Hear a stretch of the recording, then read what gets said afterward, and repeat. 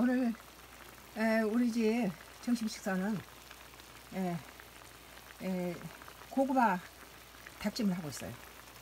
아, 고구마 아, 지- 집에 지금 작년에 걷었던 추수한 고구마 꿀고구마하고 자색고구마랑 또 밭에서 태운 당근하고 어, 넣어가지고 달콤하게 굴소스 좀 넣고 노랗게 그 이제 굽다가 여기다가 이제 소스를 에, 이것저것 후추랑 마늘 생강 또 굴소스 간장 에, 이런 것들 넉넉히 해서 소스를 만들고 참기름 좀 넣고 이렇게 해서 어, 후춧가루 좀 넣고 음, 그렇게 해서 소스를 만든 다음에 에, 여기다가 지금 에, 프라이팬에다 굽던 것을 이제 여기다가 국물을 자자가 넣었어요.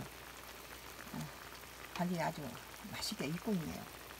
아, 여기다가 이제 닭 에, 에, 다음에 이제 에, 대파 좀 썰어놓고 닭, 에, 당면을 좀 넣으면은 먹고 난 다음에 여기다 또 밥을 볶아서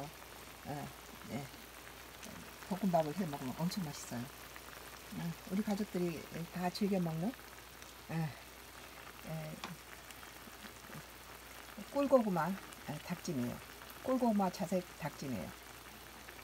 마지막에는 이제 아, 대파를 좀 송송 썰어서 넣을 거예요.